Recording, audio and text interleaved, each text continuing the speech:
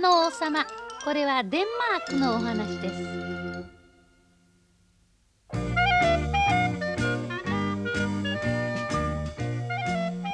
昔々あるところに一人の王様がおりました。えへんわしが王様じゃ。ところがこの王様大変困ったことを考える人でしたよ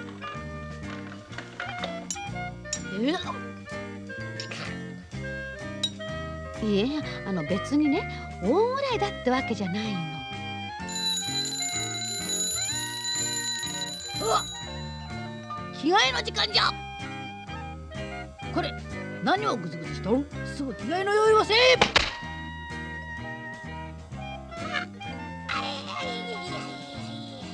王様が三度の食事よりも好きだったのは新しい着物を着てみんなに見せるってことだったのです。それも時間に一度そんなわけで王様はお仕事などはそっちのけ。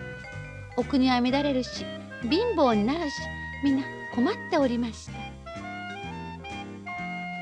ある日のことこの町へ二人の男がふらりとやってきました。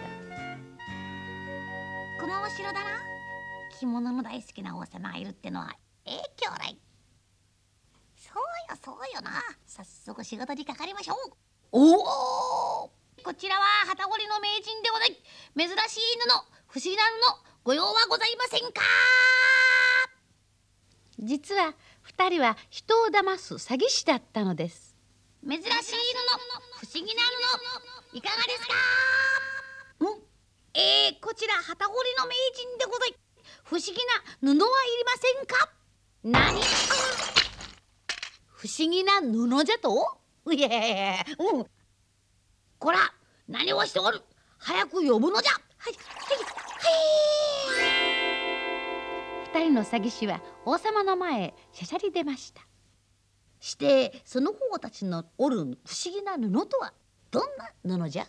愚かなもの正直なものでないものには見ることのできない布でございます。な糸一本見えません。な。何目に見えない。は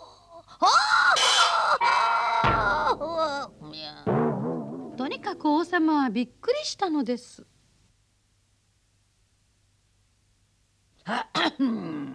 わしのために折ってくれ。今すぐじゃ。はよはよ折ってくれ。なあいやいかしこまりました。おはうひゃそれからというもの詐欺師たちは毎日毎日朝から晩まで一部屋に閉じこもって旗織りの音をさせていました。待てよ。うん？王様は早く布が見たくてたまりません。でも布が見えなかったらと思うととても部屋に入る勇気はありませんでした。そうじゃ。家来どもに見に行かせればいいわ。そうすれば誰がバカで誰が利口か分かって一挙両得というものじゃ。それにはまず一番賢い大臣がよいら。なの？わすい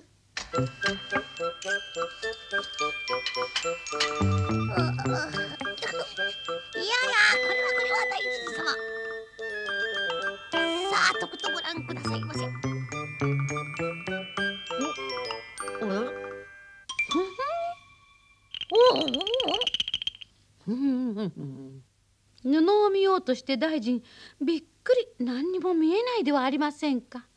よよよよ。見えないのも道理この旗織り機には糸一本かけてなかったんです。この手触りをもうちょっと触ってご覧くださいませ。大臣はせめて触るだけでもと手を伸ばしてみましたがないものはないのです。でもなるほどね。実に滑らかなまるで空気のよう。空気のよう。ははそりゃ結構。うい結構ですな大臣はバカ者と思われたくない一心で分かったふりをしたのです。大大臣どうじゃった？はいなんともはやよりもまれな美しい布でございましてな。大臣は口から出まかせめちゃくちゃに褒めましたもう王様の胸はドキドキワクワク。早く見たいな。23日すると我慢のできなくなった王様は今度は正直なことで評判の役人に様子を見に行かせました。ごめん。はーい。さあどうぞどうぞ。よくご覧くださいませ。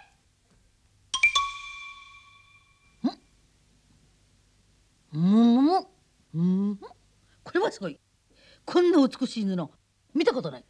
このお役人も自分がバカだと思われたくないために嘘をついたのでした。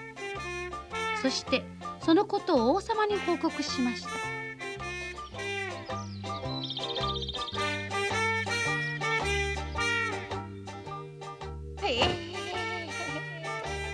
王様の胸はもう不思議な布の期待ではち切れそう着物ができました。えできた？わーいわーい。着物はどこじゃ？着物着物着物。着物着物着物着物。あー着物着物。着物はどこじゃ？これでございます。そうか。そうか。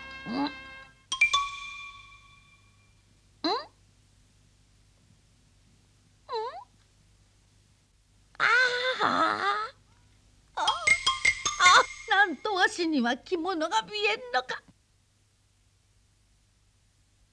王様いかがなされました。まさかお見えにならないのでは。ば、ば、バカを申せ。わしはそのつまりなんじゃ。あまりの美しさに見とれておったのじゃ。うんの大臣。美しい着物じゃのええ誠に待っておおその通り。では王様早速お召し替えを。見えないものを着るのは心配でしたがもうこうなっては着ないわけにはいきません。これがシャツ。これがズボン。王様は苦心惨憺。見えない着物を着るふりをしました。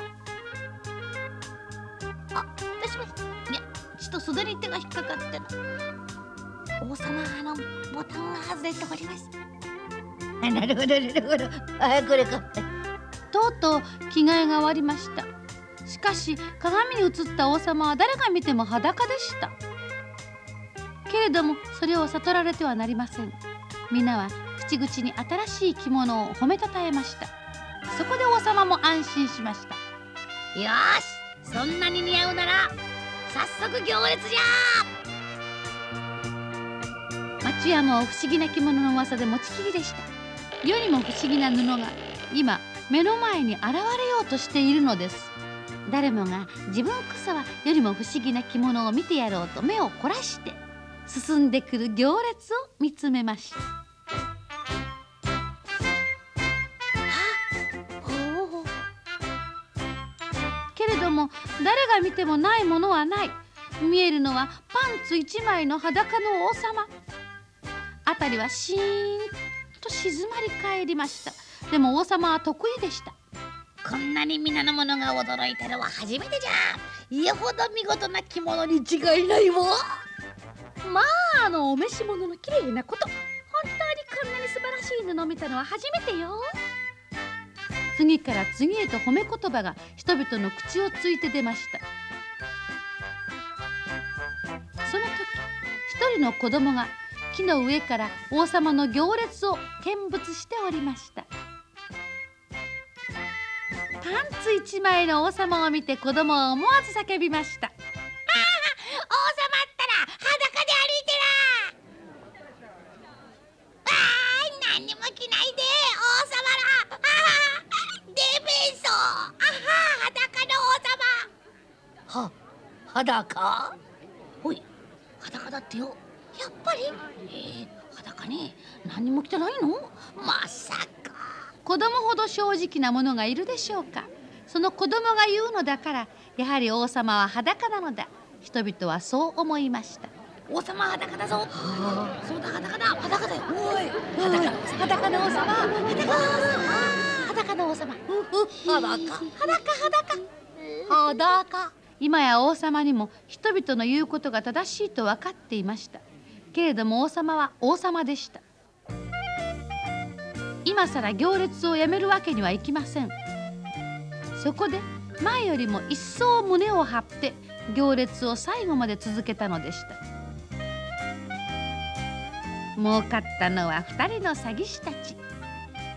たくさんのご褒美をもらってスタコラスタコラ